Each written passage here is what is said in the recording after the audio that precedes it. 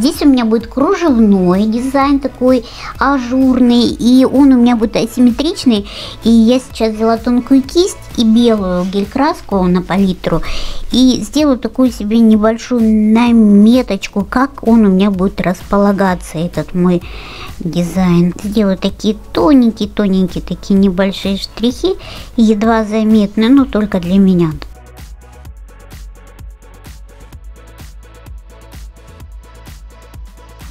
Так, рядышком два типсика складываю. И на втором тоже делаю такую вот себе прорисовочку чуть-чуть заметную. Складываю еще. Это уже третий типсик. Так, хорошенечко продумать, как у меня все это будет красиво, асимметрично. Так,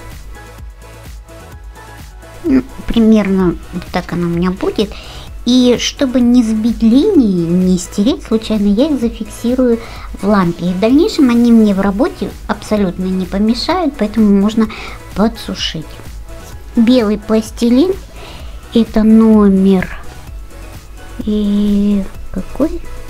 Номер один пушер обязательно, топорик пушер обязательно должен быть чистым, потому что если здесь есть какие-то цветные остатки, то они, конечно же, смешаются и уже будет не так красиво. Наберу небольшое количество. Теперь моя задача вот сюда, тот участок, который я определила для себя, поместить пластилин.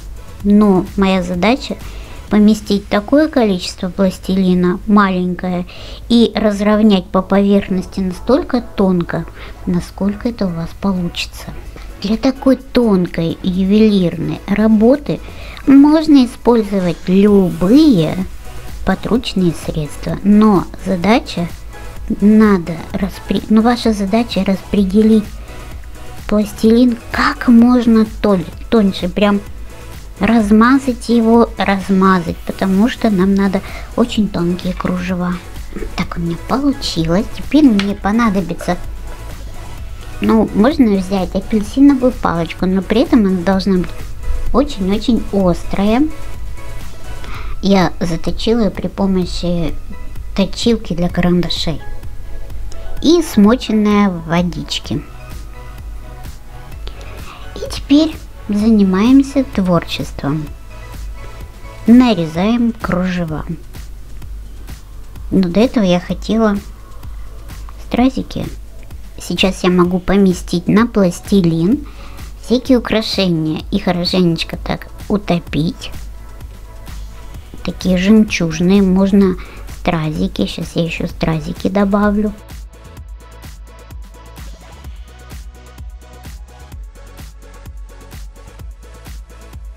Утапливаем в пластилин, чтобы ничего не оторвалось у нас.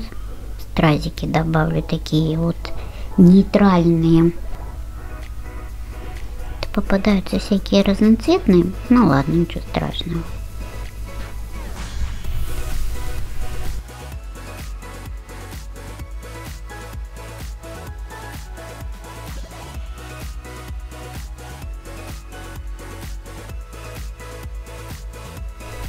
Сразу продумайте, где какие должны быть, чтобы их не подвигать. Я не старалась посередке, у меня весь асимметричный дизайн, поэтому никаких середок я здесь не намечала. Прижимаю, утапливаю, чтобы они хорошенечко утопились и не оторвались. Если хотите, можете потом дополнительно их топом перекрыть, если считаете нужным. Но это уже по окончании работы можно пройти стопом.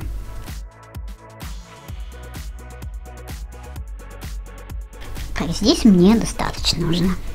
Уже достаточно. Теперь самое интересное это нарезать кружево. И здесь уже фантазия ваша, как говорится, пускай э, распускает свои возможности. Я люблю, чтобы кружево было ажурное, поэтому я делаю такие достаточно большие элементы.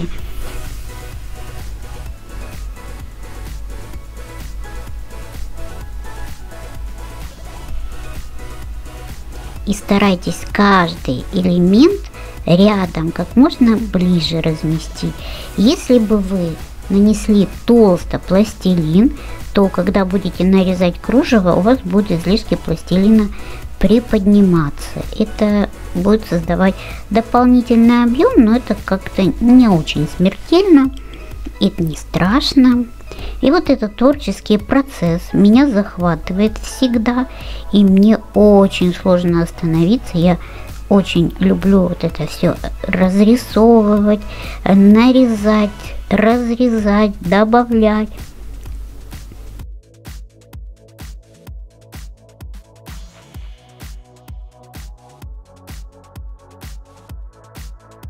Можно выполнять кружочки, дырочки, можно выполнять отверстия, дырочки, можно выполнять круглые отверстия, можно выполнять продолговатые.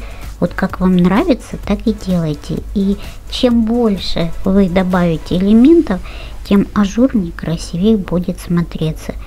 Причем на край желательно, конечно, добавлять такие вот продолговатые какие-нибудь лепестки, чтобы они как бы продлевали. То есть я сделала как бы ровный край, а вот такими лепестками можно край немножечко разорвать, ну, край дизайна, чтобы он казался ажурным. И старайтесь как можно ближе каждый элемент друг к дружке размещать.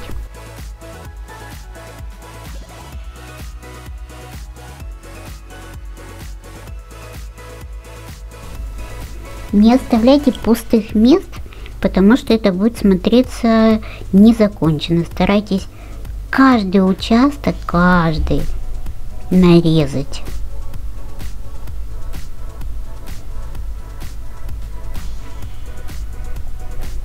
Возле стразиков останавливайте, чтобы не двигать их никуда, не сдвигать.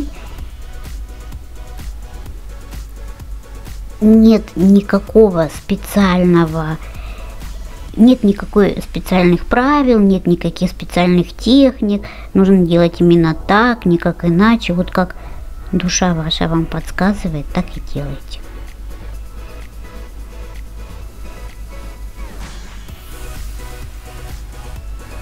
Можете за основу взять какие-нибудь картинки из интернета, чтобы вам было нагляднее видно, как какие кружева можно нарезать.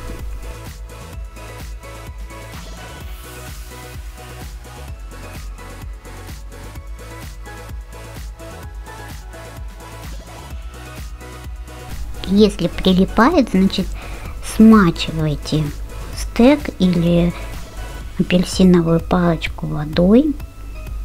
Или, например, если вы дотсом, если вы дотсом прорезаете тоже смачивайте. И очищайте обязательно, если налипает, то обязательно очищайте, чтобы был прям чистый кончик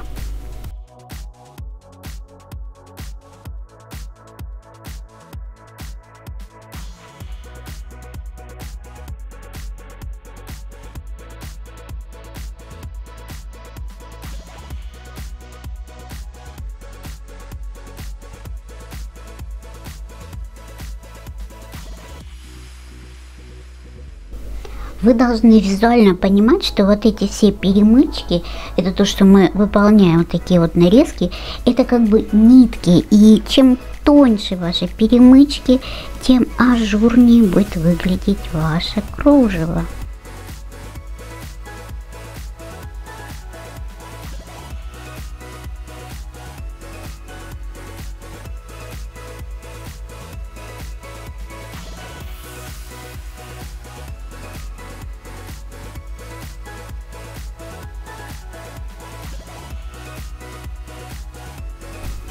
Здесь хочется прям беленькое оставить. Даже не знаю. Да, хочется кусочек беленького оставить. Но вот здесь вот между стразиками сделаю небольшие отверстия.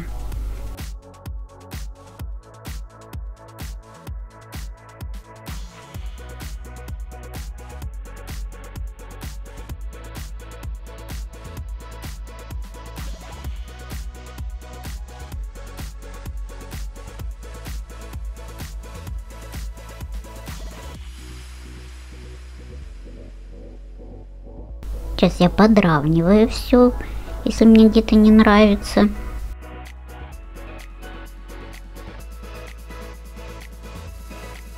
Отправлю в лампу. Здесь дело пойдет намного быстрее, потому что здесь меньше Наверняка из вас многие задают вопрос, как долго этот дизайн выполняется. Во-первых, все зависит от сноровки, от площади. То есть вы можете просто на одном ноготочке сделать такой дизайн, это будет недолго. Не и тем более клиентка, она должна быть подготовлена к тому, что это все-таки не каждодневный дизайн, какой-то праздничный. Поэтому надо к этому приготовиться. Плюс некоторые мастера, они оставляют достаточно дополнительного времени для такого дизайна и все успевают. Распределила, как видите, пальцем мне распределяется гораздо удобнее, но как мне кажется, я здесь толстовато нанесла. И теперь давайте посмотрим. А, это у нас с этой стороны. Так, давайте посмотрим. Стоит сюда добавлять какие-то бусинки или нет? Я думаю, что не стоит. Здесь я просто нарежу, соблюдая вот, вот этот вот рисунок, который здесь вот такие более продолговатые и вот в эту сторону линии. Если нанести, конечно, толстовато, то будет, знаете, как такая топорная работа, будет выглядеть очень объемно. Вот сейчас он высох, он такой нежный. Более того, вы можете перекрыть это топом, если хотите. Но уже как бы эффект пропадет. Он не цепляется, он не шершавый, потому что гель-пластилин, он такой как бы, не, не такой, как акрил. Край оформлю сразу, чтобы потом сориентироваться.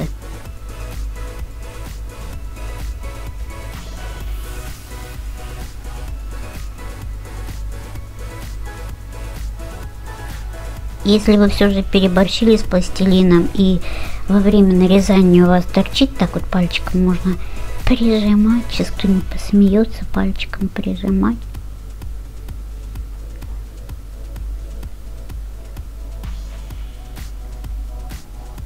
А вообще этот дизайн не меньше увлекает, чем розы.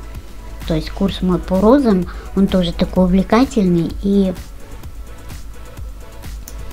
очень сильно затягивает.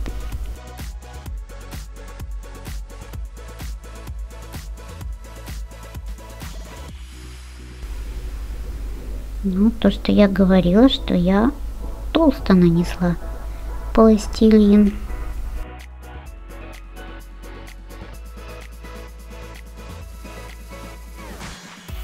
Плюс я делаю очень такие длинные элементы и как бы пластилин сам по себе собирается, излишки пластилина.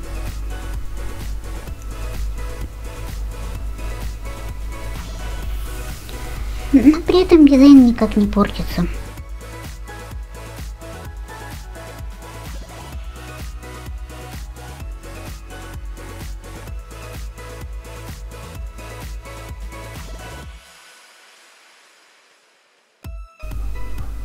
Прям даже хочется так оставить. Ну,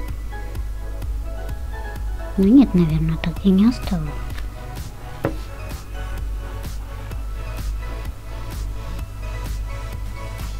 Хотя можно, да, можно. Вот честно вам хочу сказать, все, кто смотрит сейчас это видео, я все свои дизайны придумываю на ходу. Когда-то что-то я делала похожее, но вот сейчас, вот на данный момент, на данный этап, это все придумывается на ходу. Не знаю, плохо это или хорошо,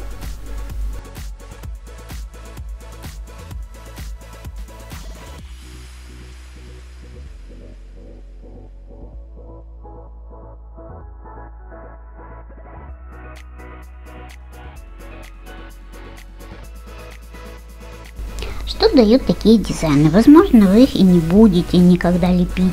Возможно, просто это для вас какая-то творческая нагрузка. Вы сможете поработать с моторикой, чтобы у вас были более точные, четкие движения руки, кисти. Поэтому любая отработка, даже если она какая-то кажется, на, на ваш взгляд, непригодная, она все равно несет положительный момент. Начала прилипать. Мне это не надо. Все поправлю и отправлю в лампу. Я решила здесь оставить. Пусть такой будет беленький кусочек. Так, этот с этой стороны, с этой стороны здесь тоже сейчас распределю пластилин. И все. Пока распределяю пластилин, у меня апельсиновая палочка стоит в воде.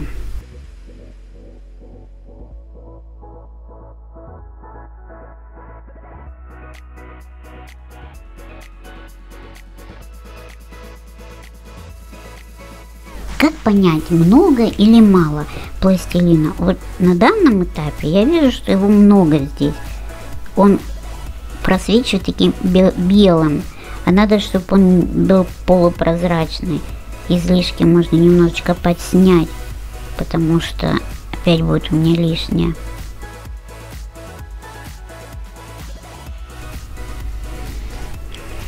Самый такой момент это вот распределение пластилина, которое мне не очень нравится. Это совсем не творчество никакое.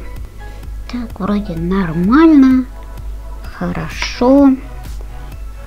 Стараемся выгладить все отпечатки, потому что нам не надо отпечатки.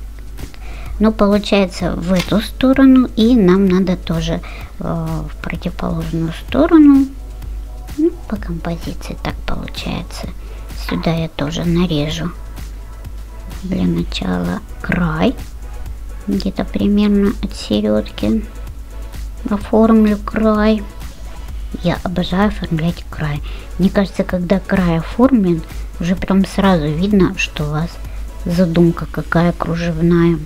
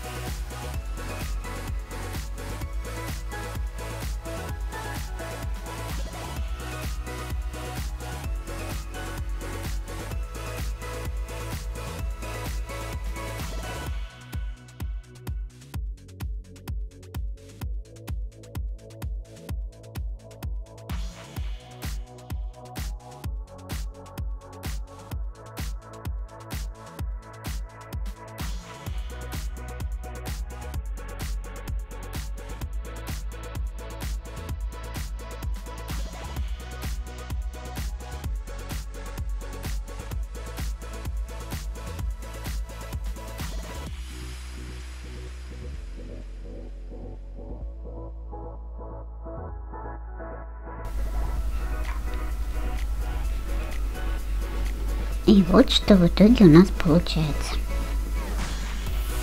Отправлю в лампу. Вот такая нежная идея у меня получилась. Любой можно использовать в качестве отдельного фрагмента. Можно также этот прием использовать для создания абстракции, не только для кружева.